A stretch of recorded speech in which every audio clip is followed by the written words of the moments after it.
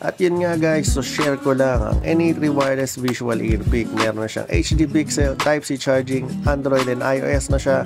Wireless ito, gamit ang Wi-Fi. So, meron ako nabili niyan, wired eh. Ang hirap, ang hassle. Sobrang hirap i-connect. So, ito, pagka-click mo yan, ng button, meron agad siyang light. So, sa manual niya, kailangan mo lang mai-connect lang yan. So, ida-download lang natin yan, scan. Pag na-download na, click mo lang yung application niya, i-connect lang natin gamit ang Wi-Fi.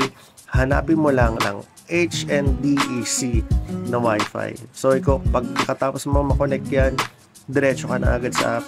Yun, meron agad lalabas na video. So, image yan. So, meron tayo dyan sa, sa gilid.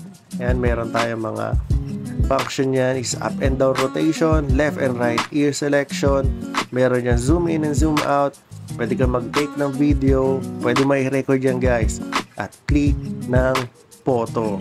Okay na okay to guys. At murang-mura pa kaysa kung mayroon man. Wag naman sanang pasukan ng tenga ninyo ng ipis or kahit ano dyan. Madali lang ninyo makakuha gamit ang NA3 Wireless Visual Earpick.